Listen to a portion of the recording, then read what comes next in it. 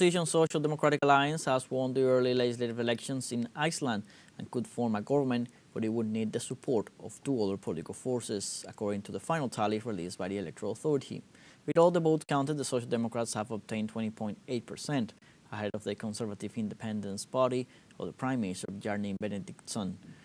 with 19.4%, and the Liberal Reform, another opposition force, with 15.8%. The result represents the second electoral defeat of the Independence Party since Iceland separated from Denmark in 1944, a hard blow for the coalition that has governed for the last seven years.